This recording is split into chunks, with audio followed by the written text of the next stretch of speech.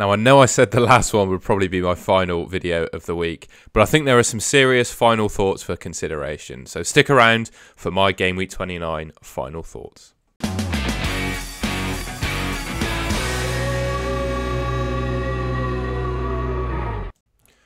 Okay, for me, one of the key considerations this week that I think a lot of FPL managers will be going through is do they bring in Bruno Fernandes for an Arsenal asset, given that Man United double in 29 and they double in 34? They've also got good fixtures in 30 and 31 as well. Are they suitable replacements for Arsenal players? Especially if you're free hitting, in my opinion, in 32 when um, you can just bring in Arsenal players when Man United blank and then bring back the United players straight after. Um, I think it's definitely worth consideration. In my opinion, I think the players that you can bring Bruno in for are probably Odegaard and Martinelli. I think Saka is just too good to get rid of, and I think you'll probably end up kicking yourself that you didn't have a spare transfer to use make a move further down the line because you made this one to bring in Bruno Fernandes. That's talking about Saka. I think Odegaard and Martinelli are definitely replaceable by Fernandes, even maybe for a hit. But I would be um, certainly on the fence about doing it for Bukayo Saka, and I definitely wouldn't do it if it was for a hit. I think if it, yeah, Bruno to Saka as your free transfer is an option, not something I'm majorly keen on. Um, I definitely wouldn't take a hit for it, but Bruno to Odegaard and Martinelli, I think definitely so. Saka, in my opinion, is the strongest of those three Arsenal midfielders. I think he's the best player for a start, and he takes the penalties, and he just gives me the Arsenal talisman vibe, and he's probably going to play the most minutes as well. So he's definitely the strongest of the Arsenal assets. Also, around Bruno, just some general comments. He's definitely come into better form um, post the World Cup. Seems to be almost back to his best when he first joined Man United. Obviously, Casemiro is serving quite a lengthy suspension, um, and Eriksen is just weaning himself back into the team. And I don't know what that means for Bruno Fernandes's role in the team. I think he either plays on the right hand side, which is usually either Antony or Jadon Sancho. Um, and I think Ten Hag really likes Antony out there for the additional width um, that he provides on the right. Whereas if Bruno played on the right, he'd be more likely to, to go inside a bit more and play a bit narrower. That makes me think he might play a deeper line midfield role. And that's where, at the start of the season at least, he was playing as well, and his stats were just not up to it. He definitely wasn't worth 9.6 million or even worth a spot in your team. So, yeah, I just think there's a little bit of uncertainty as to whether he'll play, um, which position he'll play in, sorry. Um, but I do think he's definitely worth considering. Wouldn't bring him in for Saka, definitely not for a hit, but I probably would for Odegaard or Martinelli. Next up is around the Brighton defence. So, like me, you may have played your wild card in game week 26 and then got rid of Estupiñán um, in game week 28 for his blank and brought in someone like Ben Chilwell. That's certainly what I did. And now you're left with two Brighton players and are deciding whether to bring one back in. I'm really considering now, and I said in my team selection video, I was going to buy Luke Shaw, but I'm really considering bringing back my Brighton defenders, especially Estupiñán. I think looking at his fixtures and the fact I'm I'm locked into basically a free hit in game week 32, I think the Brighton defence is a really palatable um, set to bring in. I know other people as well are just considering straight swapping um, Rico Henry for Estupiñán as well. I think it could even be worth it for for a hit that's the move that seems to be doing the rounds on Twitter, or just generally bringing in Estupiñán. And to be honest, I'm actually warming up to the idea that Estupiñán might be a slightly better option than Luke Shaw. Not because necessarily he's a better player or Brighton are a better team. I just think with the sheer amount of double game weeks they've got coming up, and they've got a really nice week this week for clean sheet odds, especially when you compare them to Brentford. I've got them on the bottom left there, and Brighton are just by far and away better for clean sheets than Brentford this week. So I think Henry to Estupiñán, if you're thinking of that move, it's definitely worth doing. Um, and maybe if you're thinking of bringing in Luke Shaw this week, you could also consider Estupiñán instead if you're only doubled up on Brighton, because I think he could be a really nice option for the week. And his underlying numbers point to expected returns per 90 are even slightly better than Luke Shaw's. He's on 0.19, and there's not much in it, but yeah. And obviously, Estupiñán is slightly cheaper as well. I think about 0.5 million cheaper. So yeah, save a bit of cash, slightly better fixtures, more doubles. I think he's an improvement on Luke Shaw, um, and I'm slowly warming up to the idea of bringing Estupiñán into my team. Okay, the next one is another player that I've been really thinking about bringing into my team. It's Isak from from Newcastle. I think he's such a good option providing he plays. His underlying numbers are absolutely insane. He's the third best forward in the Premier League for uh, you know expected returns per 90 and they're 0.88 which is second only to Darwin Nunez and Erling Haaland at the moment obviously Callum Wilson plays for Newcastle as well, and the, he's the threat really to Isak's minute, and a very genuine threat as well. Because I think you know they play at a very similar level, and I think Eddie Howe is definitely going to have a bit of a headache as to who he selects. Or of course he could play them as a strike partnership and, and see how that works out. He's got an unlikely but possible double in game week 31. I believe there's still a chance that that could happen. Um, but yeah, will remains to be seen on that one. But the main reason you'd probably consider an Isak is that you're an Ivan Toney owner. Ivan Toney, I think, at the moment, having him in your team is is is fine but he's a pretty much a guaranteed transfer at some point in time. He's on nine yellow cards, and obviously he's pending an FA investigation into the betting allegations that have been made against him. So he is going to be a transfer out at some point. What you could do this week, and especially if he gets a yellow v Brighton, Toney, where he only plays one of the double game week that, that he's got this week, you could cut your losses, bring in Isak now, guarantee yourself, well, say guarantee, higher your likelihood of having a player that plays two games this game week um, if you're a bit worried about the Toney ban, um, and someone with some really good stats um, in Alexander Isak. So, yeah. I think he's a decent option to be looking at in your team, and especially if you're a nervous Ivan Toney owner like me, yeah, certainly a player that I'm considering bringing in.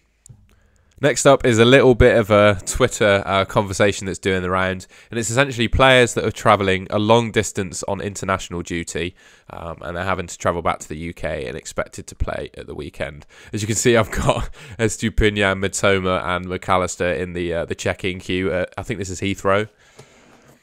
I'll use this uh, actually background as an example because this is not what travel looks like for a pro- professional Premier League footballer. Okay, when you're doing long haul travel at the you know the amount these guys are paid and the the value that they are as an asset, either the Premier League team or the international squad will basically put on a private charter jet for them um, to try and avoid as much jet lag as possible, make the journey as seamless as possible, and allow the players to sleep.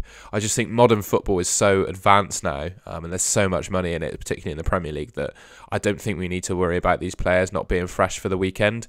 Um, I think there's no doubt in my mind that as long as they're fit and haven't picked up an injury, I don't think you know delays in travel or tiredness is going to affect these players. I know for a fact that Julian Alvarez is back in training for Man City, which suggests that yeah, the Argentine Argentinian squad, they probably travel back to the UK together on the same plane. That's what a lot of international teams usually do.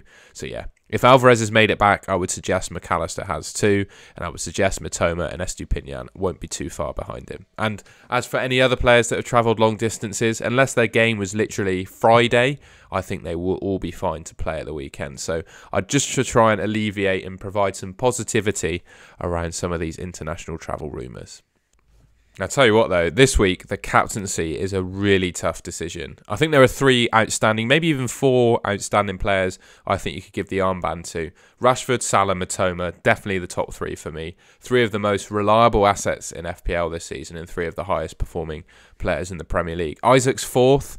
Just think, you know, he's genuinely, you could transfer him in, but I think it's a bit of a risk putting the armband on him, given he might share minutes with Callum Wilson. Whereas Rashford, Salah, and Mitoma, providing they're fit, they're all probably going to start for their teams and play 90 minutes for both of the doubles. Rashford, in my opinion, he just feels, my gut feel suggests he's the best captain, but obviously he did miss the in, uh, England international break through injury. He's been training on his own, and you'll see an update on him in a second. I think he'll be fit to start the Newcastle game. Um, just depends on the extent of the injury as to whether it, you know, holds him back a little bit in terms of um, being able to beat a man or running behind like he's his strengths are. I think he'll be fine. He'll only play for Man United if he's fit enough. So I've no worries about that. And Ten Hag seems to be reasonably honest in his press conferences, so far at least, as to the uh, the condition of his players. So yeah, I think we can we can wait on news for that. I would suggest if Ten Hag says that Rashford is fit and ready to play, he's the best captain. I really like Salah as well, but I, I still think if Rashford's number one, Salah's probably my number two. Unfortunately, I don't own him. Um, and I know he's got Man City away and Chelsea away, but I wouldn't let those fixtures put me off too much. Salah has got a good record against Man City and against Chelsea. I think pretty much any team can score against those at the moment. I know they've been playing. Um, with their three at the back for, for Potter with Fofana, Koulibaly and Cucurella seem to have solidified things a little bit defensively. Um, but I still think I fancy Salah and Liverpool to score against them. Mitoma has probably got the best fixtures of the, the three players, Brentford and Bournemouth. He's a good option as well if you want to be a bit of a differential. But I think Salah's my number, my, my number two, Rashford's my number one, Mitoma my number three. I did that in the wrong order, but don't think it matters too much. And finally, a little bit of a roundup of the key injury news that I found from Twitter today. I'm recording this on Thursday evening, so um, things may well change by the time this video goes up on Friday morning. We might have some press conference news, but I'll put in the comments of the video if any key news has come out. So, yeah, if other things have changed, please check out the comments and I'll try and add some, some key injury news as well.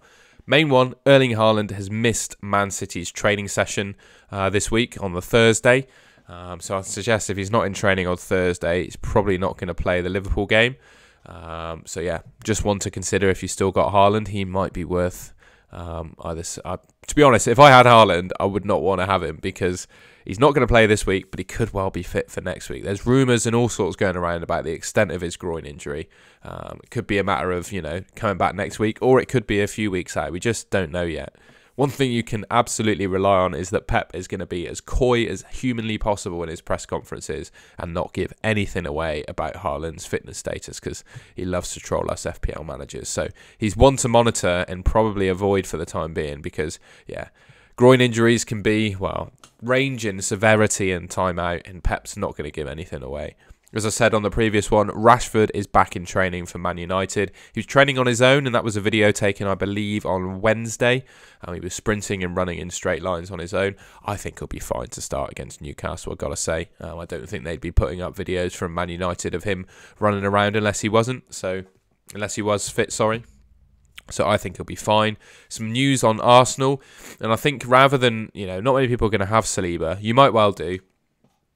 But I think the key news is that Saliba being out really impacts them defensively. It's going to be Rob Holding, um, probably at centre back, which, in my opinion, is significantly weaker than Saliba. So I will be selling Zinchenko um, this week, and I think no Saliba sort of solidifies that transfer decision for me. I think their clean sheet odds get greatly reduced without Saliba in the team, especially with Rob Holding at centre back.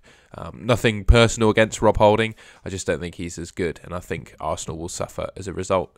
And then finally, some injury news for the Newcastle team. I know a lot of people have got Sven Botman in their team, waiting to hit that bench boost button. He's in training this week, which is really good to see, as is Nick Pope and Callum Wilson, which is unfortunate for Isak owners. Um, never saying that, you know, you'd want a player to get injured. But for Isak owners, he's the threat. And if Callum Wilson was injured, Isak's got a clear run in the team. But Callum Wilson's back fit now, so it does increase the doubt on Isak's minutes. And that's a roundup of the injury news. As I said, if any more key things come out before the video or after the video is uploaded, I'll try and keep things up to date in the comments. So pay a visit to those just to see if there's any news.